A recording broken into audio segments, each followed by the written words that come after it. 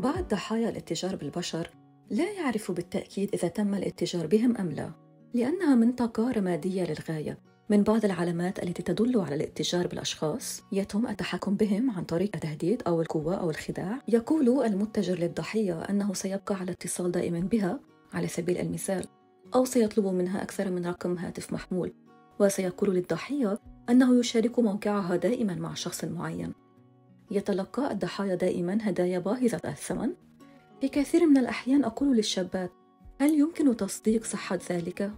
تحدثنا سابقا عن العزلة عن الأصدقاء والعائلة.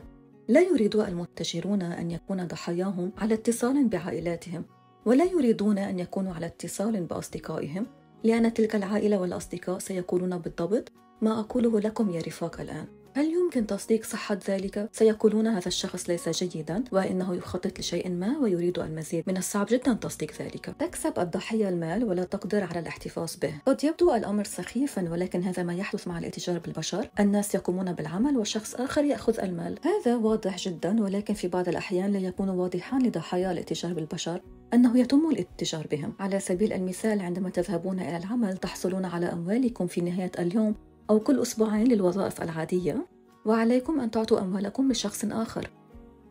هذه ليست صناعة عادية إنها ليست وظيفة عادية هذا التجار يتم إجبار الضحية على إعطاء هويتها لشخص ما. لا يجب أن يحصل أي شخص آخر على هويتكم. إذا كان عمركم أكثر من 18 عاماً يجب أن تحتفظوا بهويتكم الخاصة.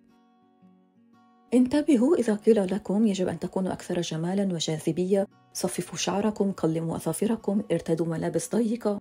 في كثير من الأحيان يتم حرمان الضحية من الطعام والنوم. صدقوا أو لا تصدقوا سيتم إجبار الشابات على العمل طوال الليل.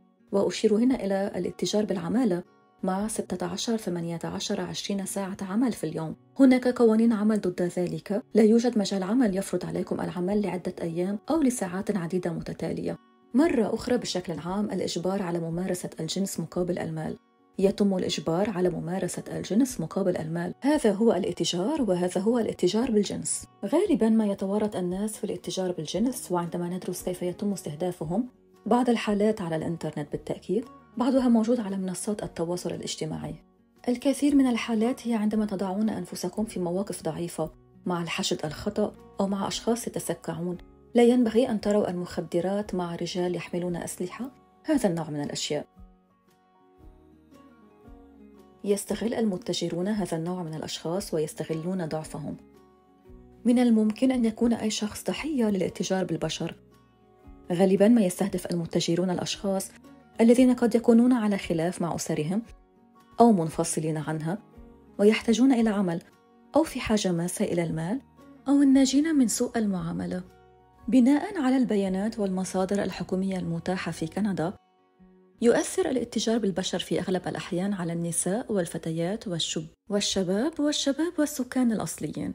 هناك عوامل مؤثرة لكن المتجرين بالبشر يميلون في أغلب الأحيان إلى استهداف الشباب، الإناث، الذين عانوا من سوء المعاملة والعنف، السكان الأصليين، مجتمعات LGBTQ2+, ذوي الإعاقة، المهاجرين أو المهاجرين الجدد، الذين يكافحون من أجل الحصول على المال، أطفال الحضانة غير المدركين لحقوقهم العاملين في المناطق النائية وكذلك المعزولين عن الدعم الاجتماعي. قد يكون من الصعب اكتشاف الاتجار بالبشر. غالبا ما يجبر الضحايا على البقاء بعيدا عن الأنظار في الأماكن العامة. ولهذا السبب من المهم جدا معرفة كيفية التعرف على العلامات التي تدل على تعرض شخص ما للاتجار. يمكنكم المساعدة في إنقاذ حياة شخص ما فيما يلي بعض المواقف والسلوكيات والعلامات التحذيرية المرئية التي يجب الانتباه إليها. عرض على شخص ما مؤخرا عمل لكنه حصل على عقد بلغة لا يفهمها وعليه أن يدفع مقابل هذه الفرصة. تبدو الوظيفة جيدة جدا لدرجة يصعب تصديقها. يجب عليه تغيير محل إقامته ولكن لم يتم إعطائه سوى القليل من التفاصيل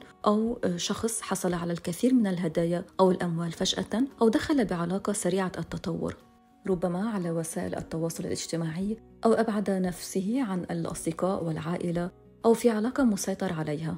السلوكيات قد يطلب الشخص الذي يتم الاتجار به من شخص آخر أن يتحدث نيابة عنه أو بطريقة متدربة تطلب الضحية مرافقتها في جميع الأوقات وهي غير قادرة على التحكم في هواتفها المحمولة أو على الاتصال بالعائلة أو الأصدقاء أو تغيير مكان إقامتها في كثير من الأحيان تكون الضحية قلقة، خاضعة، منعزلة، خائفة من إثارة غضب رئيسها أو شريكها، تخاف من السلطات، تتجنب الاتصال بالعين.